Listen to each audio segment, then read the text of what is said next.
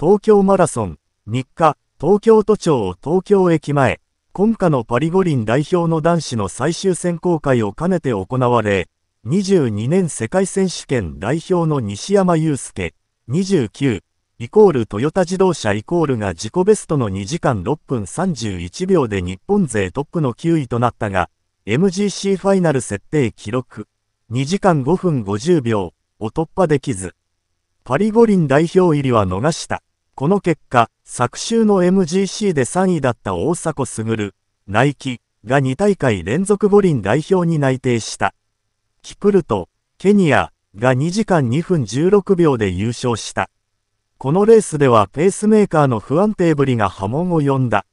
レースは全世界記録保持者2時間1分9秒で、五輪2連覇のエリュード・キプチョゲ、ケニア、ラ世界屈指の選手が揃う海外招待選手がスタートから高速ペースを刻み、15キロの通過は42分52秒、中間地点を1時間0分20秒と世界新も狙えるペースとなった。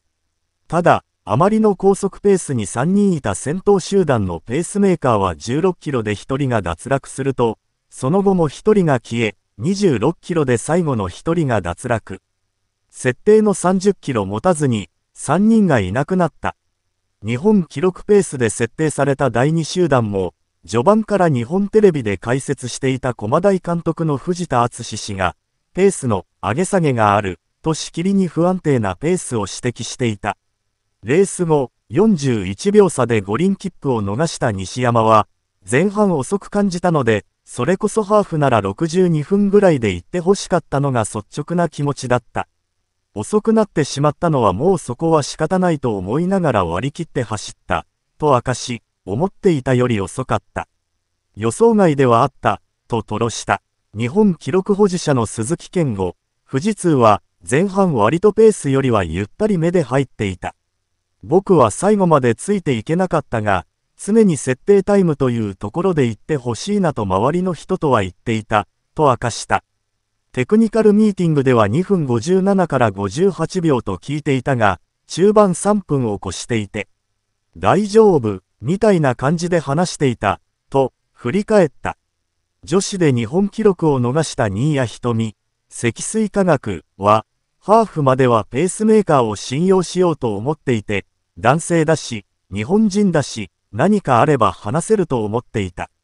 横田コーチがハーフのところにいて、遅い、と聞いて、そこで初めて、あ、やばい、と、と振り返り、20キロ通過から一気にペースが上がったのは分かったが、焦ってしまって5キロで使い果たしてしまったのかなと、と、語った。また、男子の日本勢が争う第2集団ではペースメーカーが給水で立ち止まって自身のボトルを探す場面も後続の選手が慌てて避ける場面が目立った SNS ではペースメーカーが仕事してないどころか邪魔しとるやん。給水で立ち止まっている人が多いし転倒もあったしペースメーカーが早々離脱だし素人目に大丈夫なの。って思いながら見てる。ペースメーカーの給水ほんと邪魔すぎる。ドリンクバーみたいにのんびり選んでる、と指摘する声が上がり、箱根駅伝に出場した経験がある俳優の和田正人も自身の X で、多い。給水ポイントで立ち止まってボトル探すのやめろペースメーカーが2人も、レース中に前の選手が急に立ち止まるのは本当に危険なんだよ、と、綴った。日本陸連の高岡俊成シニアディレクターはペースメーカーが機能しなかったことに、大阪の時もそうだった。レースは生もの、思っている通りに進むことはない。その中でどう対応するかが必要。ダメだったからダメだったとはならない、と語った。